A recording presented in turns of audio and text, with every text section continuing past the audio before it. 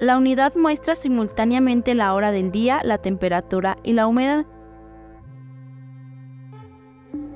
Para configurar la hora, bastará con deslizar el interruptor a Close Set y establecer la hora exacta por medio del botón de hora y minutos.